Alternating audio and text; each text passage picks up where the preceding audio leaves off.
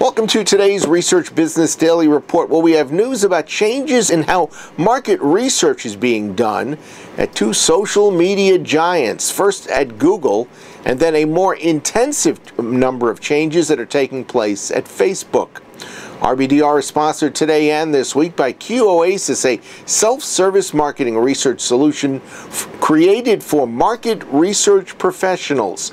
It is the only platform that delivers industrial strength, easy to use, unrestricted survey building blocks, and it's free to users. And it's also powered by the expertise of 22-year research industry veteran company Socratic Technologies. According to 9to5Google.com's Abner Li, Google relies on several internal market research services in order to gather information about how products are used. And we're talking about looking at things like YouTube, Chrome, and Android. One of its services, called the ScreenWise Trends Panel, has been renamed the Cross Media Panel. It works by downloading either a Chrome extension or a mobile app for Android or iOS. These apps collect data in the background about usage patterns that relate to Google products. Now, actually, the cross media panel is not accepting new users. It is full and has been so for quite a while. Though, along with the new name, the panel is providing a simpler, richer overall experience for members of that panel, and it has now been optimized for mobile device viewing. Moving on, the Wall Street Journal's Deepa Seetharaman was the lone reporter to read through an updated Facebook explanation of how it conducts research using the personal information it collects from its 1.6 billion users. He was also the only one to actually report about it.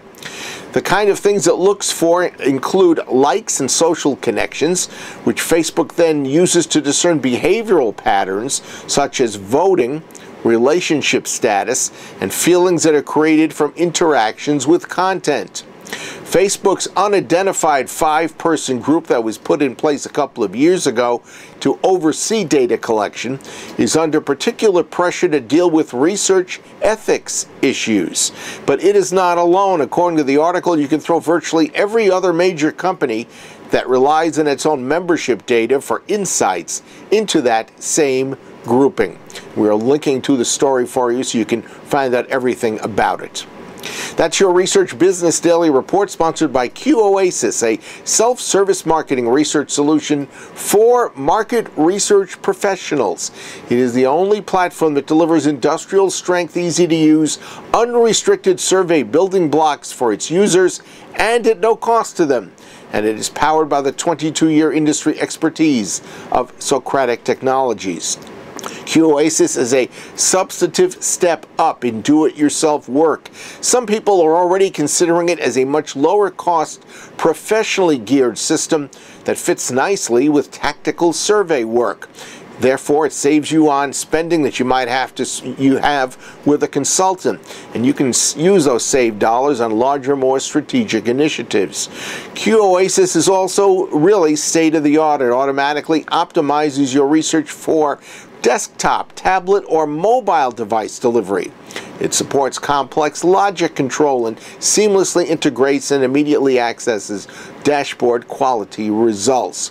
It also offers gamification, drag and drop, and if you need to do analytics, well, Socratic Technology is there to help you get that done as well. And it's, again, all for free.